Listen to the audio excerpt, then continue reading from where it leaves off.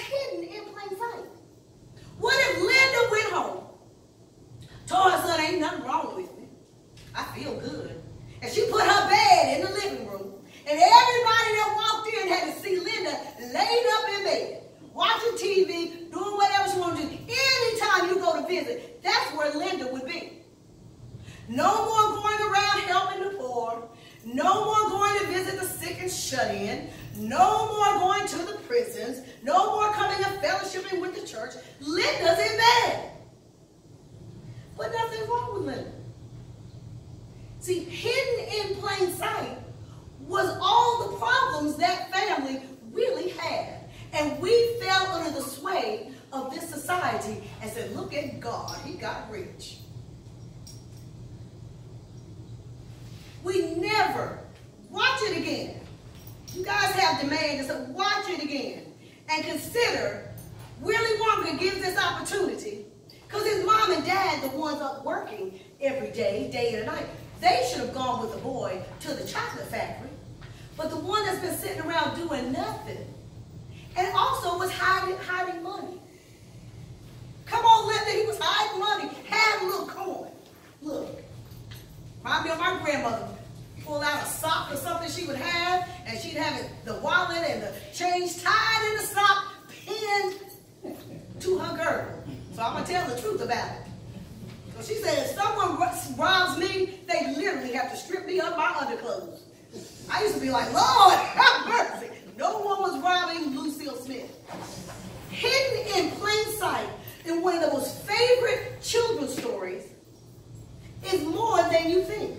Review Willy Wonka and the Chocolate Factory, and then take another look at those grandparents that are sitting there in the bed doing nothing, sitting on their little piece of change. That's the way the wells of salvation can be. Especially if you've allowed yourself to be dumbed down in ways that you shouldn't be. There was nothing. They dumbed themselves down in that story. I love that this says, with joy you shall draw water. Sa'asan, sasan is joy in Hebrew. And it is an exulting type of joy. The way it's constructed, it means it's a leaping joy in you toward God. This joy. Before you get to the water, you know you're going to get it, but that joy, you know how kids feel when they know tomorrow is Christmas Day. You can't explain it. They can't sleep. They can't wait. It's just exalting joy for the next day. That's the way we should feel exalted joy for the wells of salvation. But so many times, before we even come near it, we've been talked out of much of it. We have an encounter with the Most High God through Yeshua. The Son of God reveals himself to you. And you know that you know you've had a and sanctified and justification and you're all right with God. And somewhere in an unseen place, somehow you know I am a child of the living God. Somehow you know in the scheme of things, so much more to you now exists that spreads up through the eons into the presence of the Most High God and then you talk to somebody. And sometimes they have a way of trying to compartmentalize who you are. You've got all this joy, joy, joy. And you say, you know what? I was asleep and I saw, or I was walking and I sensed, or I heard. And people like that. But have you been in church? Was the last time you paid your tithe? Did you say the sinner's prayer? You saying the wells of, of salvation all around you and you've experienced this joy to exalt God? Come to yourself. That doesn't happen in a vacuum. happens in church. You going with me? Because during this time, the children of Israel were being judged. And Isaiah comes up with something so beautiful. And when you read the commentary, nine, uh, chapter 9 goes a little more hand in hand with timeline of this book. One of the commentators talked about how God went to Assyria, spoke to the prophets and people in Assyria. Hear me now. Said, I need you to go and beat the you know what out of Israel. Just beat them down. Don't you kill them. Don't you destroy them, but you give them the tanning of their lives. And you tell them it came from me. A So when you go read the commentary, there's a little place in there where God said, I'm going to put a, a little marker right there. I got you, Siri, okay? Don't think I'm going to forget. God was trying to discipline the children of Israel by utilizing the other nations to discipline them because they were crippled by all of their trust in everything but God. Inside of them, salvation has always been available. We just didn't know how to access it. We couldn't stay the course because it required such an obedience. We couldn't do it. And God, after, you know, God is like my grandmother, will give you a whooping and then give you some salve for your wounds. and God is like, you know, surely God is my salvation. I will trust and not be afraid. The Lord, the Lord, the Lord, the Lord is my strength and my song. God has become my salvation. The problem is, in this modern age, everything has become our salvation but God. Sometimes we'll give God a little shout out, thank bless your name. Mm-hmm. I said it, if you ever go watch my Facebook post, you'll hear me say a wide variety of things during the week that lead to my sermon. I talked about believers having faith. I laid hands on the car and the car is mine. Oh, I walked around that house seven times like it was Jericho, baby. And the walls came a tumbling down. But you start saying, where's the presence of God? Our faith, we can activate it for things that really many times don't matter. They may matter in our personal lives. And God gets that. But those things that matter, that the presence of God comes flooding in and people feel the healing of God coming through because the people have come together. And that same presence when you were by yourself or even in the church that overtook you that you couldn't resist has now manifested in your midst. That doesn't happen. You know, Kenny, what was the question you raised to me? Next slide, Paul. Which one about Salvation. Um, between salvation and redemption, or No, just what is salvation? I think Yeah, was I yeah. exactly how you what? it. What exactly is salvation? Kenny in the car, he kept looking because many times when we come to church, and someone could raise a simple question like that: What is salvation? And we we're going to rattle off scripture after scripture. We're such good students sometimes of nothing. What is salvation? It think let me give you a reference. All of you close your eyes for a minute. Are you a child of the living God? Your spirit say yes? Besides your mom and dad, are you a child of God? Your example of salvation. You know it, right? You know who the Messiah is. That's my example. Salvation is more than just an act. It's what is experienced deep in the depths of who you are, that place in soul and spirit realm that grabs you and makes you all right before God. And you're so all right that you're not only just a person standing up there, but this is my daddy. No world can give that to you.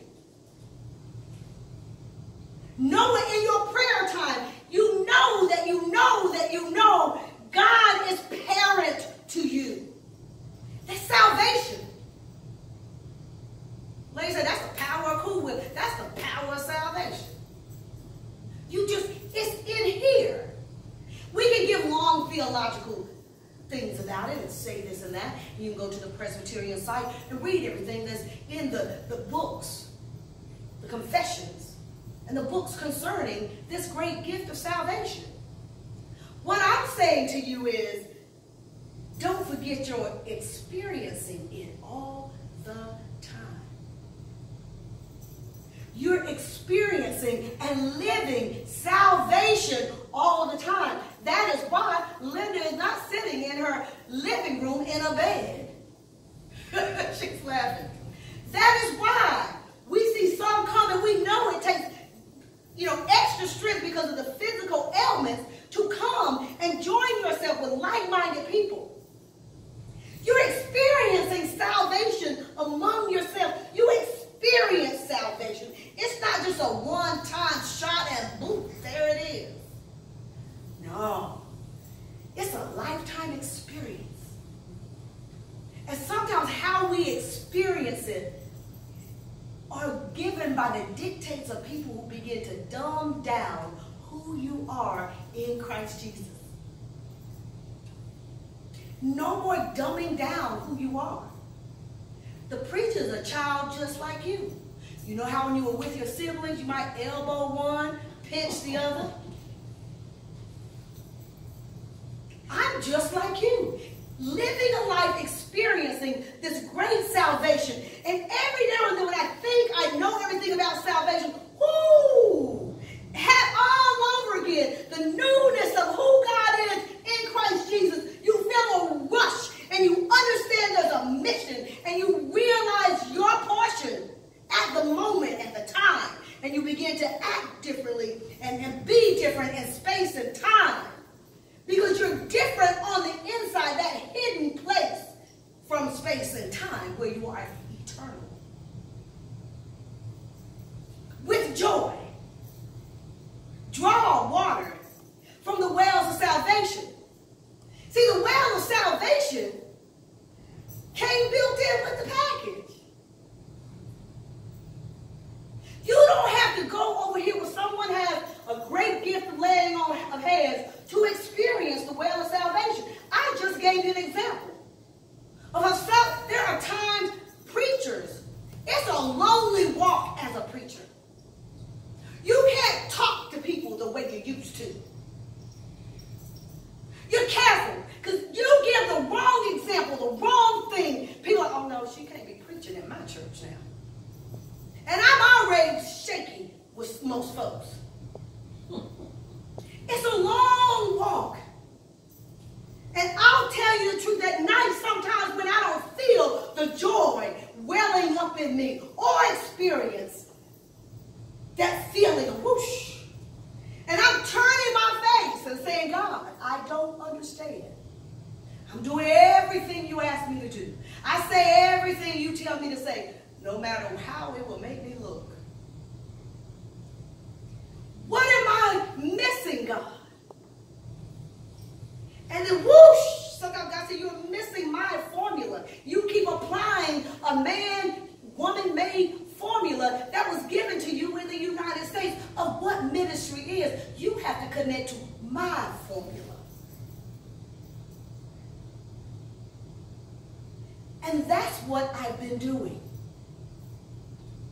Because God's like, no, no, no, no, no. This isn't about you just being a good Presbyterian. This is not about you being a good Presbyterian.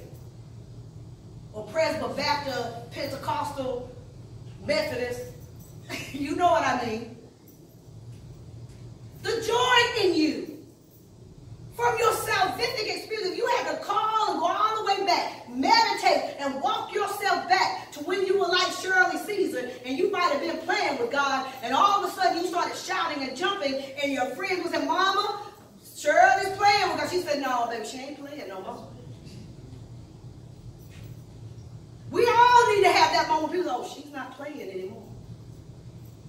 Don't let someone talk you out of or dumb down who you are. I also, from studies, can tell you statistically, the dumbing down of the church began when TV evangelism began.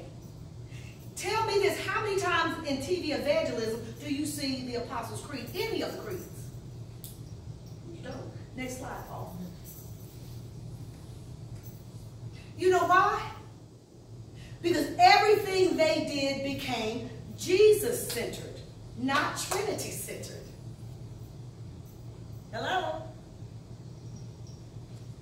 When all of the evangelists get on there, many people will ascribe to what they say and how they do and how they be, and there's no room for the uniqueness of who God has made you you and you. Because we're being like Juanita Bynum. Hey, bless the Lord. God is. We're trying to be, instead of understanding the power of your own anointing. And every one of you have it. Not just your preacher. Salvation in this is presented as a feminine noun. It's a soft side of God.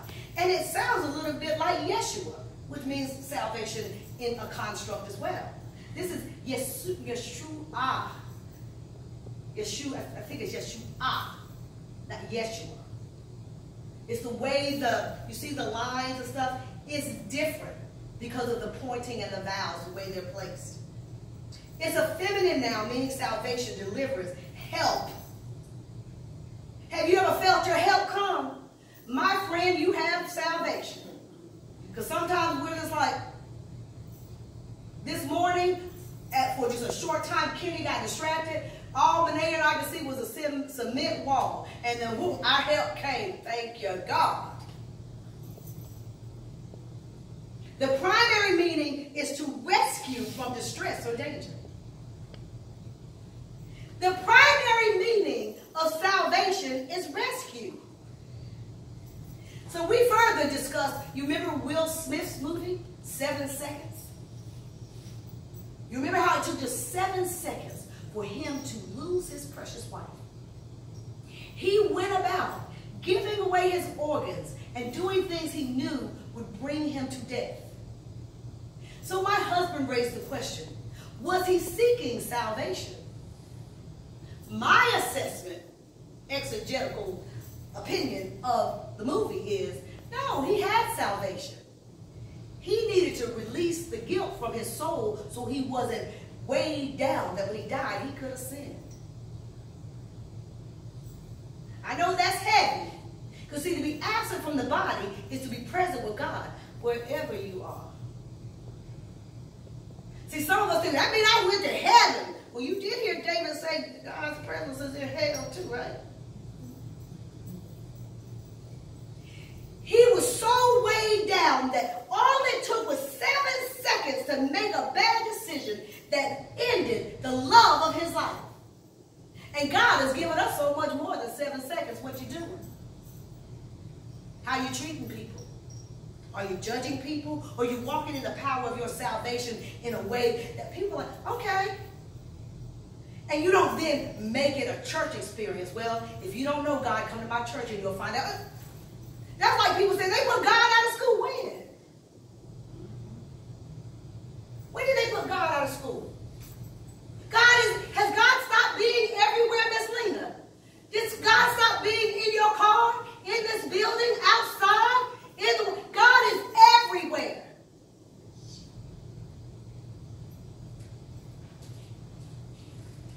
Come on, believers. Let's, let's know who we are in God. Now, understand the power of salvation. Do you know just presence can break the yokes that bind people?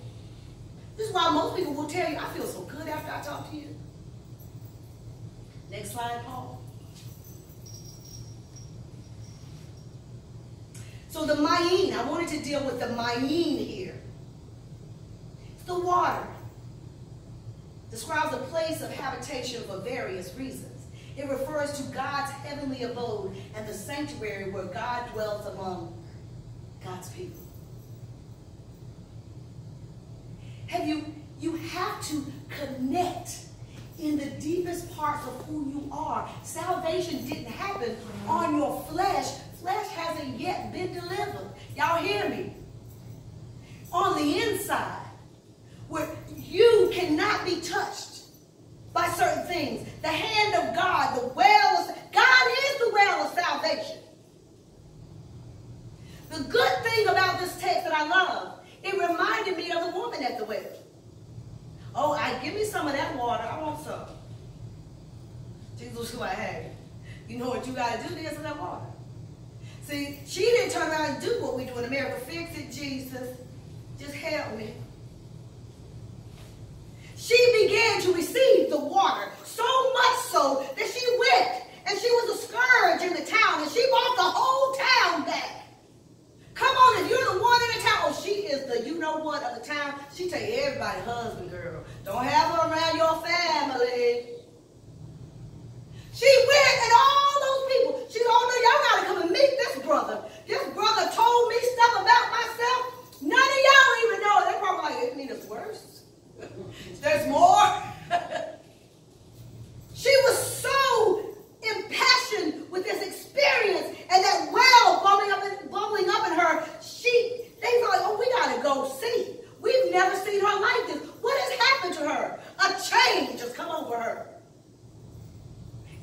followed her back to the well.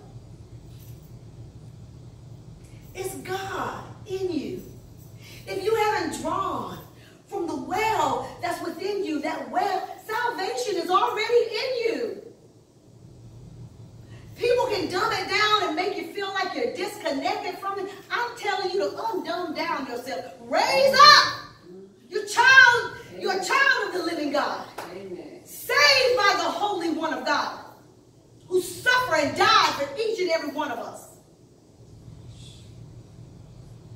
You are not without. The problem is you just haven't used what you've been equipped with. You're like the grandpa and the grandma sitting in the bed in Willy Wonka. You waiting for life to happen to somebody else so you can jump in the midst of their salvation, not yet realizing your own. Y'all better come with me today. Get out of the bed. Get out of the Christian spiritual bed that has so anesthetized us to what's around us that we can't understand the victory that's already in us. We can only see what's good is happening to somebody else. Well, let me go here. Can I go with you? That's what happens. Hidden in plain sight. Look in the mirror. In plain sight is a child of the living God, filled with the Holy Spirit, bought by the blood of Jesus Christ, paid a high price to get you where you are. You do not have a right to sit in the bed. You do not have a right not to get up. If you can't get up, pick up the phone. But God's not done with any of us yet. God's waiting for us to awaken to who are, why we are, and how we are, that we may cut through this realm in a way that will manifest something different. Guys, you've heard me pray. We had an earthquake, 7.1. Nobody died. Uh, come on, come with me. I was like, look, God, is that you? Hello, is that you, God? I was like, yes. Us up. And we can't even, well, it was a 7.1. Now they're saying there's a bigger one coming. Where am I? Because see, the problem is, if you stay tuned in too long to lie a vision, all your visions will be lies. You won't be able to see the truth for the liar vision. I had to extract myself. And then yesterday walking through, there was an explosion. Get this, in Plantation, Florida. Oh I'm like, God, you delivering plantations now. Did anybody die? Yes, I am. Delivered your ancestors off one. Don't forget.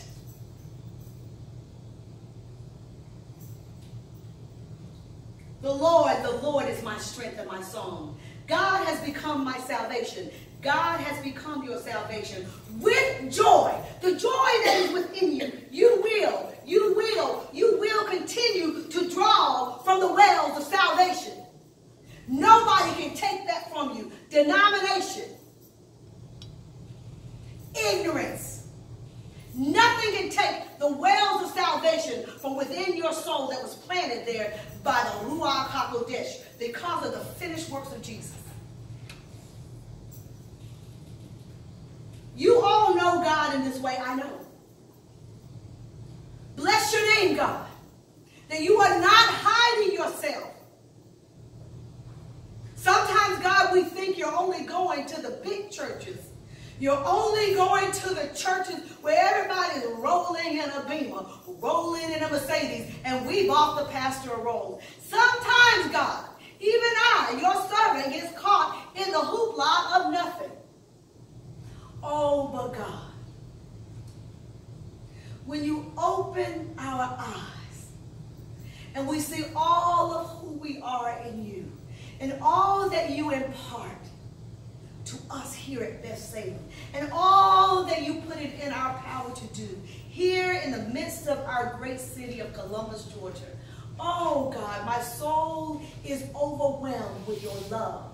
And indeed, Beth Salem has been drawing from the wells of salvation for over a hundred and some years. May we never take it for granted, Most High God. In the name of Yeshua, Pray. God's people say. Amen. You, Yeshua, that in spite of how we treated you when you were here, you did it anyway.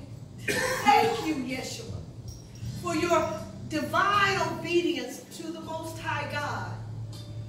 That nothing was going to stop you from finishing what you came here to do.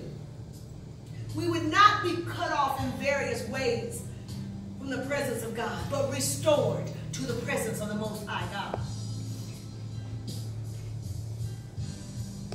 God, that we all have our well experience this week. And hold on to it. It may become a daily experience, God. Not just a week, not just a one day, but every day we will with joy, exalted joy, draw from the well of salvation. In the name of Jesus, I pray. All God's people say. To warm you, a moonbeam to charm you, a sheltering angel so nothing can harm you, laughter to cheer you, faithful friends near you, and whenever you pray, heaven to hear you. In the name of Jesus, go in the power of who you are. Amen. Amen.